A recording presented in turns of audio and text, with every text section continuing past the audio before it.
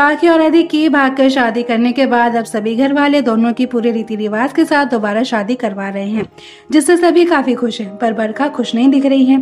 लेकिन आपको बता दें कि बरखा का शादी से खुश न होना सिर्फ़ एक ढोंग है।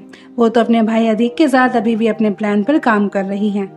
पाकि और अधिक की भागकर शादी बरखा और अधिक का प्लान था, ताकि पाकि शाह हाउस से कपाड़िया हाउस आ जाए और उसके ज़रिए बरखा और अधिक प्रॉपर्टी और जो वो चाहते हैं, वो सब निकलवा लें।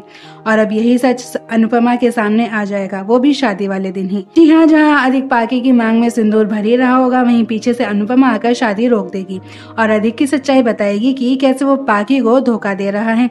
जिसके बाद जो अनुपमा ने अधिक और बरखा की वॉइस रिकॉर्ड की होगी, वो सभी के सामने चलाकर वो अधिक का पर्दाफाश कर देगी। जहाँ इस खुलासे से पाकि तो टूट जाएगी, वहीं सभी का गुस्सा और फ्रस्ट्रेशन भी सामने आएगा। जिसके बाद शो में कई बड़े धमाके होंगे, जिससे शो की कहानी क्या नया मोड़ लेगी, ये देखना काफ़ी दिलचस्प होगा। तो दोस्तों, आपको क्या लगता है कि पाकि अधिक को सच्चाई सामने आने के बाद क्या इसे एक्सेप्ट कर पाएगी, या फिर वो अपनी माँ को ही गलत ठहराएगी? कमेंट करके ज़रूर बताएँ। साथ ही इसे तमाम खबरें जानने के लिए चैनल को सब्सक्राइब करना ना भूलें।